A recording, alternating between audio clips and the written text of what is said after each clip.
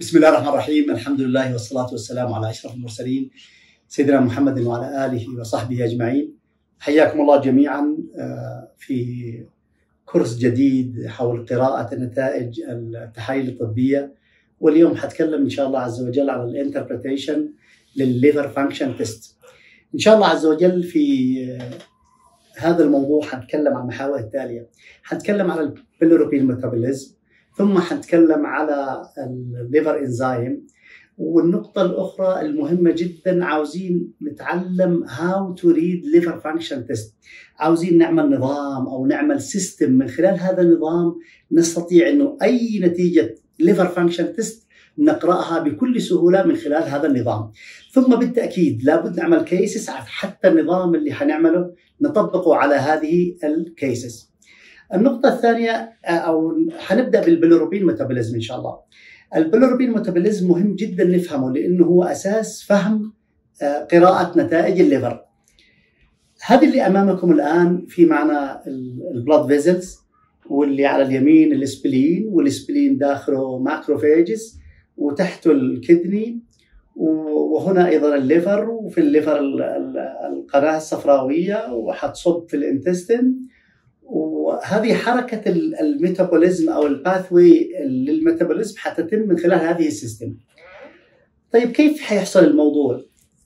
سبحان الله ال bone marrow أو نخاع العظم يصنع ال RBCs وال RBCs دي تظل إلى 120 يوم.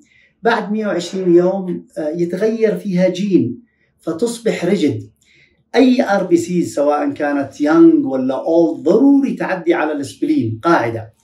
فلما ال RBCs تصبح عمرها 120 يوم اذا أصبحت شاخت فتغير الجين اللي فيها فأصبح ال membrane أصبح rigid فلما تروح ال RBCs إلى ال spleen في ال spleen في narrow capillaries في capillaries ضيقة. فتدخل ال RBCs من خلال هذه ال capillaries الضيقة ولأنها أصبحت old وأصبحت ال membrane حقها rigid فيحصل إنه يحصل لها rupture أو يحصل لها destruction فلما يحصل لها rupture بالتأكيد حتطلع الهيموجلوبين لما يطلع الهيموجلوبين الهيموجلوبين هو small molecule ولكنه toxic تخيلوا هذا الهيموجلوبين لو خرج إلى الدم حيعمل disease شهير جدا نسميه acute tubular necrosis في ال kidney طبعا. الهيموجلوبين ده على طول حيحصل إنه حيتحول إلى globin وال globin ده عبارة عن amino acid حيستفاد منه ويتحول إلى heme. ال heme ده برضه حيتحول إلى ال iron وحيتحول إلى البليفردين. ال iron ال liver بتروح بتطلع ترانسفيرتين يروح يشيل ال iron ويوديه إلى نخاع العظم عشان يحصل recycling ويستخدم في تصنيع ال RBCs من جديد.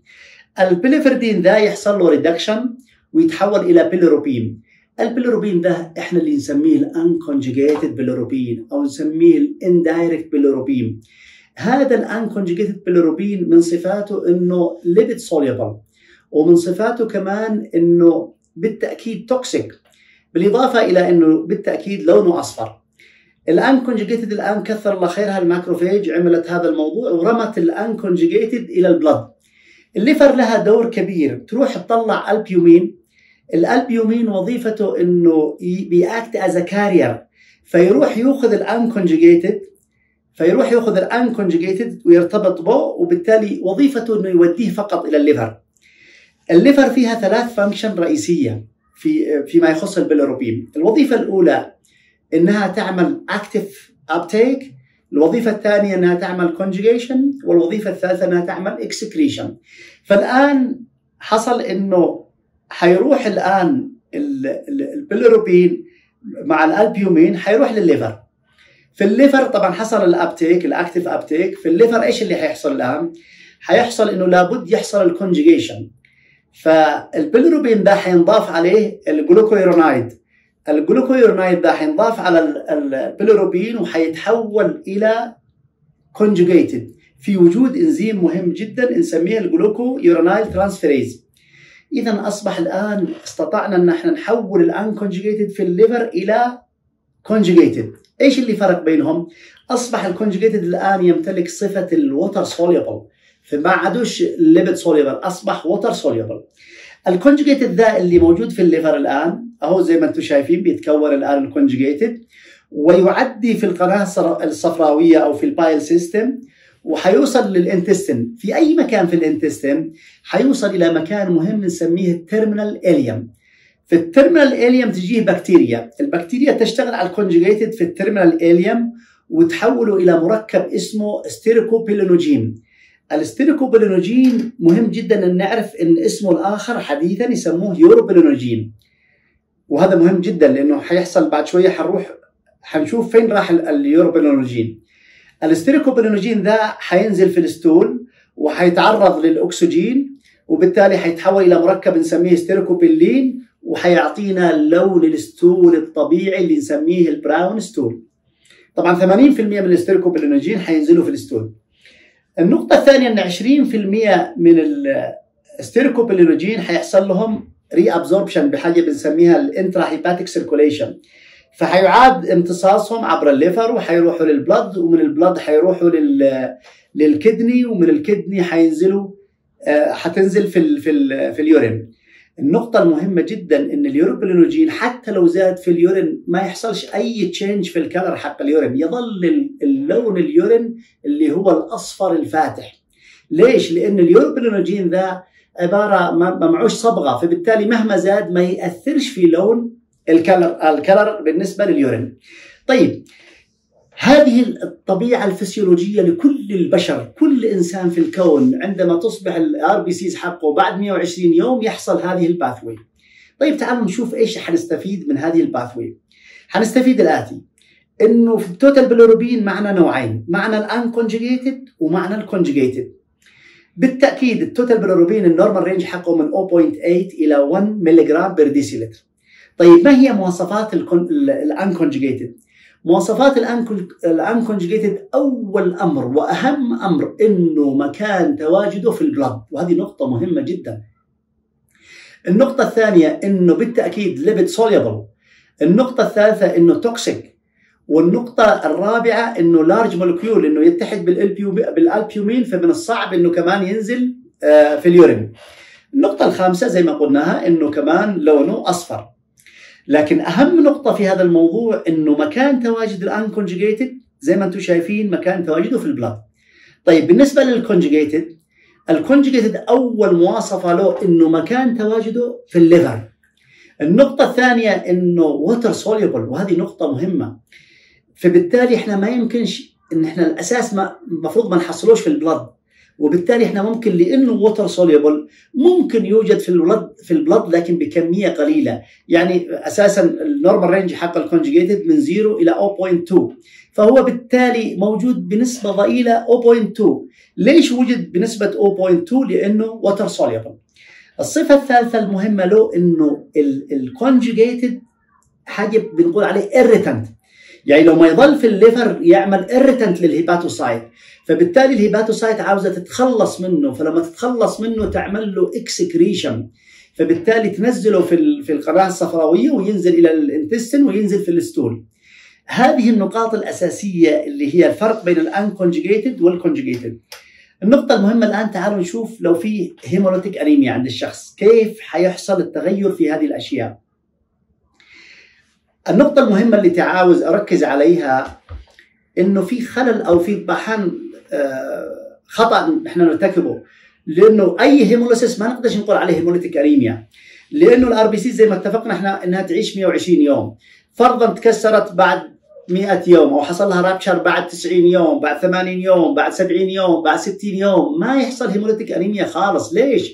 لأن ال bone marrow قادر إنه يعوض وبالتالي إحنا نقول حصل hemolysis لكن ما نقدرش نقول إنه حصل hemolytic anemia طيب متى نقول إنه حصل hemolytic anemia إذا أصبح التكسير كل 10 أيام تتكسر أو يحصل rupture ال RBCs ليش نقول؟ لأنه هنا ال bone marrow ما عاد يقدرش يعوض. أصبح هناك عدد كبير ومهول من ال RBCs تتكسر.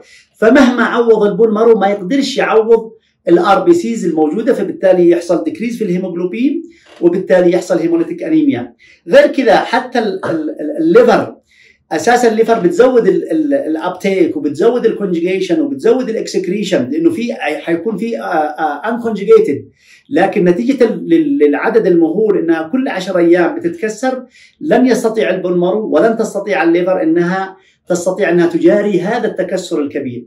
فبالتالي النقطة المهمة جدا إنه الآن ال RBCs حتروح حتتكسر وحي... لأنه حصل hemolytic anemia حتتكسر كل 10 أيام. فبالتالي حصل عدد كبير جدا من ال RBCs حصل لهم destruction or rupture لو ما حصل rupture بالتأكيد حيطلع هيموجلوبين بالتأكيد كمية الهيموجلوبين كبيرة. الهيموجلوبين ده زي ما قلنا حيكون فيه جلوبولين وده حيستفاد منه عبارة عن amino acid حيستفاد منه. بالإضافة إلى حيكون في heme ال heme حيتكسر إلى ال iron وكمان حيتكسر إلى حيتحول إلى بليفردين. ال iron مهم خاصة في ال hemolytic anemia لأنه ممكن ينتج عنه حاجة بنسميها hemosiderosis أو أو حاجة كمان بنسميها ال hemochromatosis حنتكلم عليها إن شاء الله بإذن الله. لو لنا عافية وعمر لو ما نتكلم على كيف نقرأ نتائج ال blood الآن البليفردين زي ما قلنا قبل شوية إنه حيحصل له reduction وحيتحول إلى بيليروبين اللي سميناه ال unconjugated ال unconjugated bilirubin الآن حتكون كمية كبيرة جدا. ليش؟ لأنه كمية كبيرة حصل لها destruction فبالتالي حتكون كمية كبيرة كلها في ال blood ال liver حتطلع ال albumin. ال albumin اللي حيطلع طبعا زي ما أنتم شايفين زاد ال unconjugated في ال blood ال albumin ده حيطلع وحيأخذ بالتأكيد البيلروبين إلى ال liver. حيحصل conjugation لو ما يحصل ال conjugation بالتأكيد كمان ال conjugation حيزداد. ليش حيزداد؟ لأنه كمية ال unconjugated عالية. فبالتالي زي ما أنتم شايفين بيتكون الآن ال conjugated الآن ال conjugated حينزل عبر القناة الصفراوية إلى ال intestine زي ما قلنا حيوصل إلى ال terminal ileum وبالتالي حتيجي البكتيريا وحتعمل له تحويل إلى مركب سميناه stercobilinogen هنا stercobilinogen حيزداد. ليش حيزداد؟ لأنه كمية ال conjugated عالية. ليش زادت كمية ال conjugated؟ لأنه كمية ال unconjugated عالية. ليش زادت كمية ال unconjugated؟ لأنه عدد كبير من ال RBCs حصل لها rupture وبالتالي زاد ال unconjugated. ال bilinogen ذا اللي زاد اللي قلنا عليه بين قوسين اسمه urobilinogen ده بالتأكيد حينزل في ال stool زي ما قلنا 80% وهنا حيتعرض للأكسجين. لو ما ينزل في ال stool وحيصبح ال stool dark. وهذه واحدة من مميزات ال hemolytic anemia. ليش ال stool dark؟ لأنه كمية ال stercobilinogen عالية. بالتأكيد حيحصل reabsorption زي ما قلنا ال 20% بال enterohepatic circulation وحتروح للل liver ومن ال liver حتروح لل blood ومن ال blood حتروح لل kidney وحتنزل في في ال urine حيكون نسبة ال urobilinogen في ال urine عالية لكن لن يتغير لون البول حيظل نفسه اللون الأصفر الفاتح زي ما قلنا لأنه ما فيش صبغة في ال urobilinogen فحيصبح no change في ال color في ال urine. طيب الآن عاوزين نتعلم شيء من ال hemolytic anemia طبعا في نقطة مهمة ال conjugated ممكن يزداد. حيسألني واحد ليش حيزداد ال conjugated لأنه كميته في ال liver عالية فممكن يحصل لأنه زي ما قلنا irritant ولأنه water soluble فممكن يحصل له secretion وبالتالي يروح لل blood الآن تعالوا نتعلم من هذه ال hemolytic anemia إيش اللي حيحصل؟ إنه في معايا total bilirubin عالي. طيب حنسأل أنفسنا ليش زاد ال total bilirubin زاد ال total bilirubin للآتي. اللي زودوا أكيد ال unconjugated هو اللي زود ال total bilirubin هذه النقطة الأولى. النقطة الثانية أن ال stool dark. ليش ال stool dark؟ لأنه زاد ال stercobilinogen. كيف زاد ال stercobilinogen؟ لأنه زاد ال conjugation أو ال conjugated bilirubin ليش زاد ال conjugated bilirubin؟ لأنه زاد ال unconjugated. النقطة اللي بعدها أنه من مواصفات كمان ال hemolytic anemia أن ال urobilinogen عالي. ليش ال urobilinogen عالي؟ لأن ال stercobilinogen عالي فبالتالي حصل reabsorption النقطة الثالثة إنه برغم إن ال urobilinogen عالي لكن ما في أي change في ال color بالنسبة لل hemolytic anemia وزي ما قلنا ليش ما فيش change؟ لأنه ما فيش صبغة مع ال urobilinogen. طيب تعالوا الآن نشوف لو في حصل biliary obstruction لل patients إيش اللي حيحصل؟ biliary لما أقول biliary obstruction كل ما في الموضوع إنه حصلت سدة القناة الصفراوية أو ال bile system انسد. فبالتالي ما معناها انسد إنه مش حيقدر يطلع ال conjugation أو ال conjugated bilirubin بمعنى آخر إنه عادي طبيعي ال RBCs حيحصل لها destruction بشكل طبيعي وحيطلع الهيموجلوبين بشكل طبيعي والهيموجلوبين حيتحول إلى ال globulin وال heme وال heme ده حيتحول إلى iron وحيتحول إلى بيليفردين وحيتحول إلى البيليروبين اللي هو ال unconjugated بشكل طبيعي زي أي إنسان طبيعي. ال unconjugated زي ما قلنا حيروح ال blood حيجي ال albumin as carrier ويأخذ ال ال يأخذ الانكونجيجيتد ويوديه الليفر ولما يوديه الليفر يحصل الكونجيجيشن في الليفر وحيتكون الكونجيجيشن فبالتالي حيتكون conjugated bilirubin بالطريقة اللي قلناها إن البيليروبين حينضاف عليه ال glucuronide وبالتالي حيجي إنزيم ال glucuronide transferase وحيحوله إلى conjugated bilirubin. هنا النقطة المهمة تخيلوا حيتكون conjugated حيتكون conjugated حيتكون conjugated ومش قادر يتصرف. حصل block ومش قادر يتصرف بحيث إنه ينزل إلى ال intestine فبالتالي الآن ال liver ملانه conjugated والدنيا مقفولة الدنيا مسدودة. فبالتالي إيش اللي حيحصل؟ حيحصل إنه ما في stercobilinogen وهذا منطق لأنه ما قدرش ينزل ال conjugated. ما دام ما فيش stercobilinogen بالتأكيد ال stool حيكون pale. لأنه أساسا الصبغة اللي بيعطيها هو stercobilinogen فما في stercobilinogen فحيصبح ال stool حيصبح pale النقطة الثانية بالتأكيد ما في urobilinogen خالص، ليش ما فيش urobilinogen؟ لأنه ما في stercobilinogen. النقطة الثانية اللي بعدها إنه بالتأكيد مش اتفقنا ان ال conjugated ذا عبارة عن water soluble حيحصل له عمل secretion في ال blood وبالتالي حيزداد ال conjugated بنسبة كبيرة جدا. لو ما يزداد ال conjugated في ال blood بالتأكيد طبعا ال unconjugated حيزداد شوية، ليش حيزداد شوية؟ لأنه ال liver ملانه conjugated فبالتالي حيقل ال uptake فبالتالي حيزداد ال unconjugated. هنا طبعا ال conjugated حيروح لل kidney ولما يروح ال kidney حينزل في البول وحيكون هنا ال urine dark اللون حيكون حقه dark. ليش dark؟ لأنه قلنا حيحصل ما نسميها بال bilirubinuria اللي هي عبارة عن عن ال conjugated bilirubin وبالتالي واحدة من ال characters لل biliary obstructive إن ال urine dark color طيب الآن تعالوا نتعلم الآتي. ال total bilirubin زاد صحيح زاد ال total bilirubin من اللي زيد ال total bilirubin اللي زيده أو اللي رفعه هو ال conjugated هو اللي رفع ال total bilirubin النقطة الثانية في ال biliary obstructive إنه ال stool pale. ليش ال stool pale؟ لأنه ما في stercobilinogen ليش ما فيش stercobilinogen لأنه حصل obstruction فما قدرش ال conjugated إنه ينزل.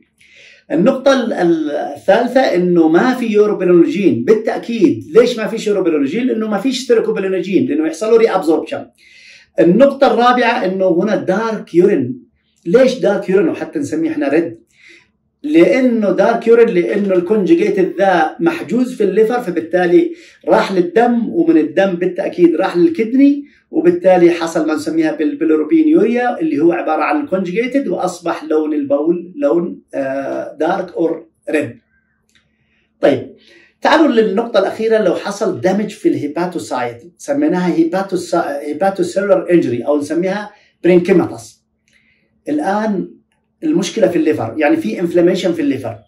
طيب الوضع طبيعي حيحصل. زي أي إنسان ال RBCs دي بعد 120 يوم حتروح لل spleen. طبعا هي بتروح باستمرار لكن بعد 120 يوم دي لما تروح لل spleen حيحصل لها rupture لو ما يحصل لها rupture حيطلع الهيموجلوبين بشكل طبيعي. لو ما يطلع الهيموجلوبين حي... حيطلع الجلوبولين وحيطلع ال heme. ال heme ده اللي حيطلع حيتحول إلى iron وحيتحول إلى biliverdin ال biliverdin زي ما قلنا حيحصل له reduction وحيتحول إلى بيليروبين اللي سميناه ال unconjugated or indirect bilirubin ال unconjugated ده حيروح لل blood زي ما قلنا حيجي ال albumin as carrier ويوخذه إلى ال liver. لو ما يوخذه إلى ال liver حيحصل ال conjugation وحيتحول conjugated bilirubin في ال liver. أهو تحول conjugated bilirubin في ال liver وتحول conjugated النقطة المهمة جدا اللي عاوزين نتفق عليها إنه ال liver لو ما يحصل لها inflammation هذه نقطة مهمة جدا. لو ما يحصل لها inflammation لها ثلاث وظائف. تعمل للبيلوروبين تعمل active uptake وتعمل conjugation وتعمل excretion الثلاث الوظائف ذي لو حصل inflammation في ال liver تقل لكن الوظيفة اللي يحصل لها drop في الأرض هي ال excretion يعني ال liver ما تقدرش تعمل عملية excretion لل conjugated فبالتالي إيش اللي حيحصل؟ ال biliru ال conjugated bilirubin حيتجمع في ال liver مش قادر يحصل له excreted لأنه حصل inflammation في ال liver. وبالتالي ال stercobilinogen حيقل وبالتالي أكيد ال stool حيصبح pale. كمان ال reabsorption ده حيقل وبالتالي حيقل أو ما فيش urobilinogen نتيجة لأنه ما حصلش excretion لل لل conjugated وبالتالي ما تحولش إلى stercobilinogen بالتأكيد ال conjugated ده water soluble لأنه water soluble حيحصل حيروح لل blood ومن ال blood حيروح لل kidney ومن ال kidney طبعا بالتأكيد ال conjugated حيزداد. أكثر من ال unconjugated بكثير حيزداد تماما لأنه هو اللي حصل له تحول وحصل له conjugation في ال liver لكن ما قدرش يتصرف فبالتالي بال water soluble حيكون نسبته كبيرة في الدم. بالتأكيد زي ما قلنا ال unconjugated حيزداد بنسبة ضئيلة. ليش حيزداد ال unconjugated لأنه أساسا لو ما ال liver ملانه conjugated حيقل ال uptake. لو ما يقل ال uptake حيزداد ال unconjugated طيب زي ما قلنا ال conjugated ده حيروح لل blood ولو ما يروح لل blood حيحصل من ال blood حيروح لل kidney ومن ال kidney ده حينزل في ال urine وحيصبح ال urine dark لأنه قلنا في bilirubinuria اللي هي ال conjugated وبالتالي أصبح ال urine dark طيب تعالوا نتعلم من ال hepatocellular injury or parenchymatous انه ال total bilirubin زاد صحيح زاد. من اللي زيد ال total bilirubin بالتأكيد اللي زودوا ال conjugated هو اللي زودوا لأنه موجود في ال liver وما حصلوش secretion إلى عبر ال bile النقطة الثانية ال stool pale صحيح pale. ليش pale؟ لأنه ال stercobilinogen قل أو ما فيش. لأن ال conjugated ما قدرش ال liver إنه يطلعه. كمان ال urobilinogen حيقل أو ما فيش urobilinogen نفس الوضع إن ما فيش stercobilinogen بالتأكيد ال urine dark ليش ال urine dark؟ لأن ال conjugated ده موجود في ال liver وهو water soluble فبالتالي حي... حيغادر إلى الدم ومن الدم حيروح لل kidney وحينزل في ال urine فبالتالي. حيصبح معنا في ال bilirubinuria اللي هو عبارة عن ال conjugated وحيصبح dark dark urine اللي بنسميه red طيب النقطة المهمة الآن اللي اتفقنا عليها لو لاحظتم إنه ال biliary obstructive disease وال hepatocellular injury كلاهما نفس المواصفات نفس المواصفات. dark urine ما فيش urobilinogen ال total bilirubin زايد الكونجيجيتد بلوروبين زايد في الاثنين. كيف نفرق بينهم؟ نفرق بينهم بال liver enzyme وهذا إن شاء الله ما سنأخذه بإذن الله في المحاضرة القادمة بإذن الله عز وجل. شكرا جزيلا لكم والسلام عليكم ورحمة الله وبركاته.